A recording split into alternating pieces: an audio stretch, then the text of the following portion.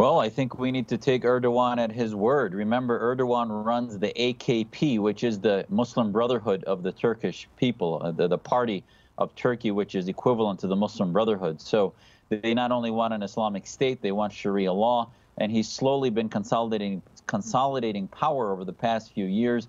We saw the purge of 20, 30,000 professors last summer in the mm-hmm. so-called uh, coup and now he, he wanted this referendum that he put out because he wanted to be able to cancel the prime minister's position, to end the parliamentary system, to have control over three to five million civil servants, which he would then likely fire or control from a, a autocratic perspective, and then also uh, increase the number of judges he hires so that he can take away some of the checks and balances in the system. All of that is a move towards autocracy.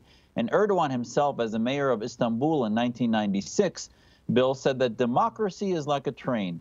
You get on it until you get where you want to go, and then you get off.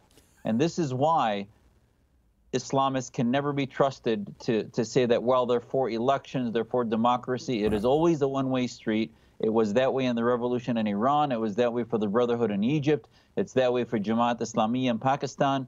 Wherever you want, they are not they are authoritarians who believe in a theocracy.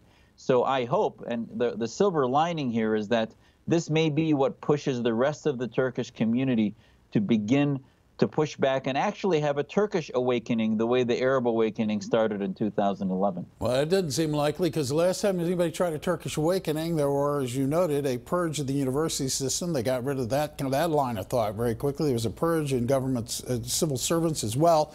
So my question is like, how did this happen? I mean, how did we reach this point in Turkey? I also I, I, should point out for folks listening, and I'd love your comment on it. Apparently, the larger cities like Ankara, Istanbul, uh, Izmir, all voted against giving him more power. So, uh, where where did this support come from? That's a great question. The opposition party, uh, much to my agreement, uh, came out yesterday and said uh, they're not even going to accept the results. He won by 1%, 51.3%.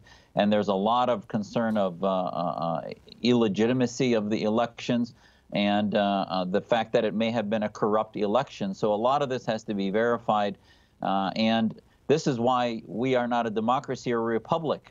majoritocracies are always doomed to failure. 50% plus one can often vote to end the rights of minorities and civil liberties, etc. Not to mention that there was a lot of irregularities in the smaller cities and smaller towns that appear to have shipped in many. The Kurdish yeah. community might have been excluded in the voting, so there's just a ton of irregularities. And this is where we need uh, uh, the West to sort of chime in and say, listen, not only is this a, a large economic powerhouse in the Middle East, but this is a NATO country that we should hold accountable to the rest of the democracies. I think you beat me to that. I was just